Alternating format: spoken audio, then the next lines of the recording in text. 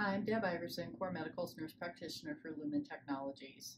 Since COVID 19 started, we've learned that non white ethnic groups have been more severely affected by COVID 19 than the general population, and the numbers of people infected by the virus have had to go to the emergency room or been hospitalized with more severe symptoms or who have died from this virus we know that non white ethnic populations have had less access to our health care system over the years for lots of reasons, mostly lack of insurance and cultural barriers such as language, where and how people live, transportation, and other reasons. And we need to keep focusing on these problems to reduce the disparities so that all people of color have equal access to health care.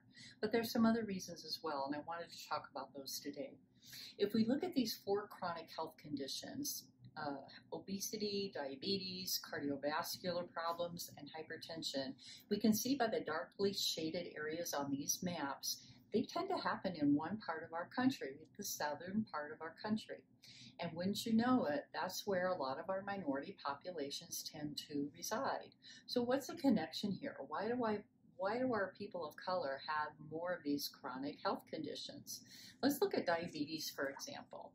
If you have diabetes in your family, we know that there is a genetic connection there.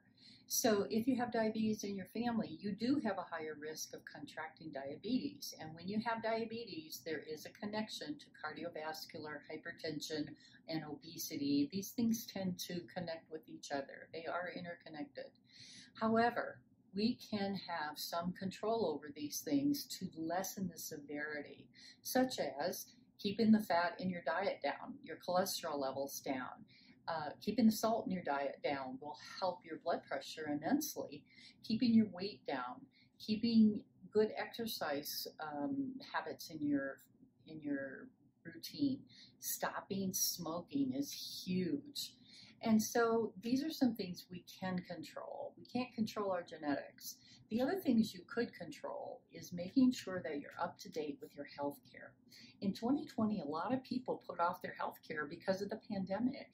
Call your PCP, get in for your physical, update your labs, make sure your medications are correct for whatever your conditions are, get those medications refilled.